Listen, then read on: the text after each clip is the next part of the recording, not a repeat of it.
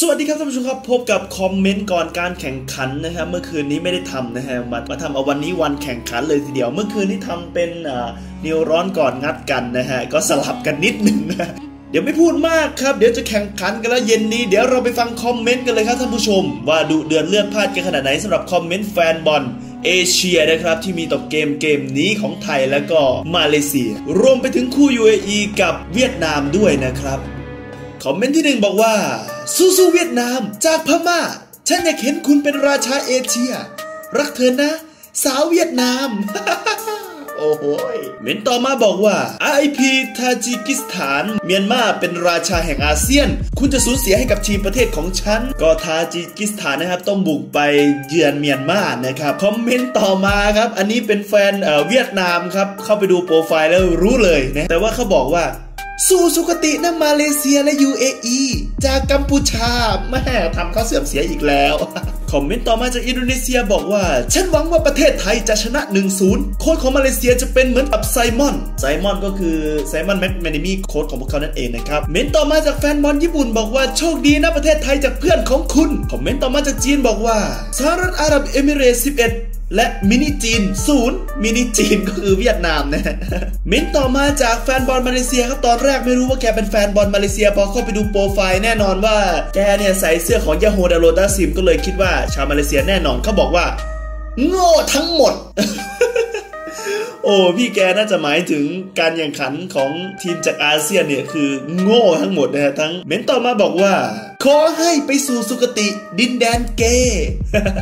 อันนี้ให้เดาครับว่า คอมเมนต์ของประเทศไหนนะครับเมนต่อมาบอกว่าโชคดีมาเลเซียนะครับ จากพนมเปญแฟนบอลมาเลเซียบอกว่า ขอให้โชคดีครับเวียดนาม แสดงพลังแห่งอาเซียนให้กับเอมิเรสคอมเมนต์ต่อมาบอกว่า โชคดีมาเลเซียจากเวียดนามแม่พี่พี่ไปบอกรักกันที่อื่นเถอะเมนต่อมาบอกว่ายินดีด้วยประเทศไทยที่แพ้ให้กับมาเลเซีย อันนี้ไม่รู้ว่าพี่แกเป็นชาติไหนนะครับ แต่แกอาศัยอยู่ที่ฟลอริดานะครับฟลอริดานี่สหรัฐอเมริกาหรือเปล่าวะ น่าจะสหรัฐนะ แต่ว่าเพื่อนที่เป็นชาวเวียดนามนี่เยอะเลย น่าจะเวียดนามแหละนะฮะ แต่หน้าแกจะไปทางเมียนมา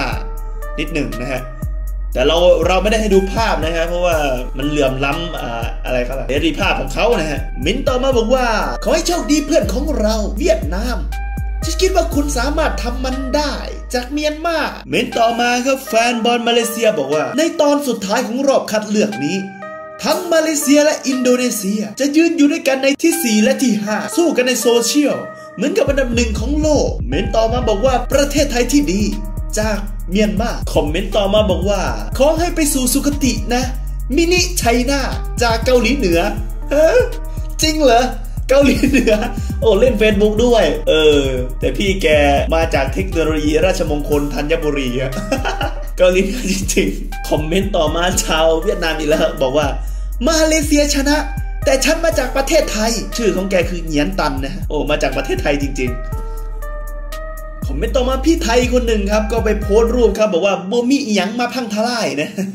ก็เป็นรูปของเย็นกองเฟืองที่เตะเวืดอีกครั้งหนึ่ง แล้วก็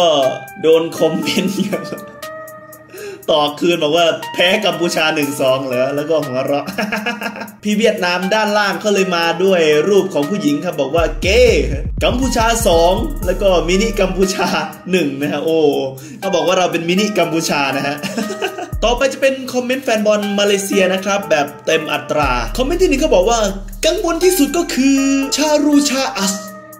ชาห์รูล ซาอัดนี่ก็อยู่ในตำแหน่งกองหลังนะฮะ เป็นกองหลังตัวจริงของทางมาเลเซียเขานะครับ บอกว่ากังวลที่สุดใน 2 เกมในการประทะกับ UAE และเวียดนาม นั่นคือเหตุผลว่า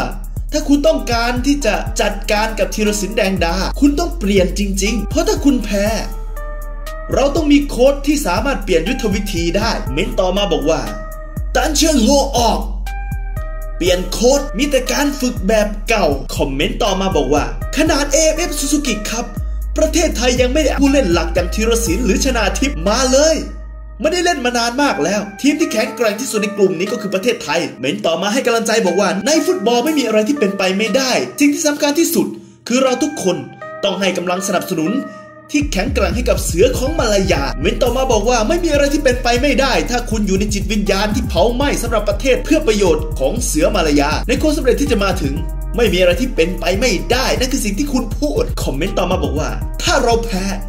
เราก็จะอยู่กับอินโดนีเซีย เมนต่อมาบอกว่าไม่ต้องกังวลโค้ชตังชิงโฮ เป็นประจักษ์อยู่แล้วสำหรับโนบิตะ มีต้นกำเนิดมาจากญี่ปุ่นปรัชญาของทิกิตก้าปริศนาของเขาได้รับการจดจำเมนต่อมาบอกว่า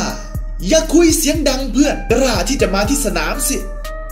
เมสสุดท้ายบอกว่า มาเลเซียจะชนะ 3-2 วันนี้พระเจ้าจะเต็มใจ